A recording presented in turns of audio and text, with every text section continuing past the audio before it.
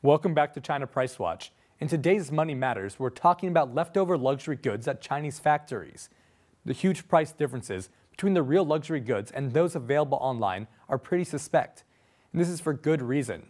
According to many market insiders, the real leftover luxury products from these China based factories are very rare and hard to find on the market.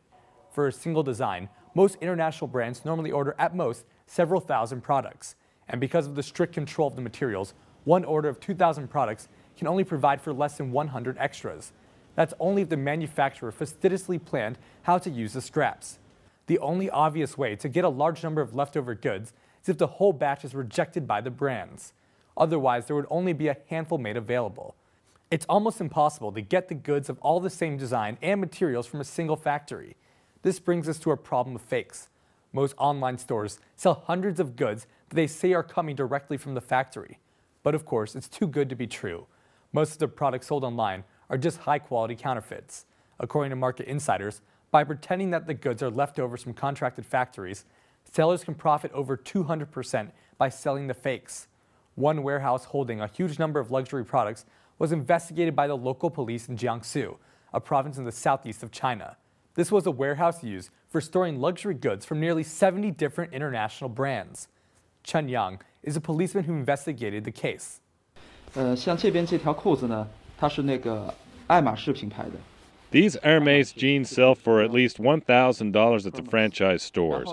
Under the name of leftover products from a Hermes factory, the e store can sell it for a discount of 80 to 90% off.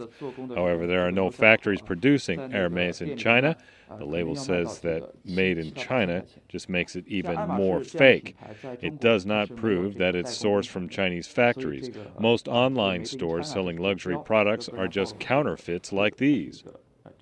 Even though China has been home to the factories of many international brands, a large number of products are still produced outside of China. The sellers are just taking advantage of assumptions made by consumers who think they can find these deals online. Most well known luxury brands are well aware of the outflow of their products in China. Brands have tried to minimize risk by keeping strict supervision of their factories. When defective or leftover products are finding their way to markets, the factory could be fined or even lose their contract. Therefore, surplus luxury products from these contracted factories can be very hard to find in Chinese markets. By exploiting the assumption that there are a lot of luxury goods leaking out of factories, stores are making huge profits by selling counterfeits in China. Even though many consumers realize the products are fake, there is still an enthusiastic demand for products that look like luxury goods. An entirely separate market has been made very real in the creation of fakes.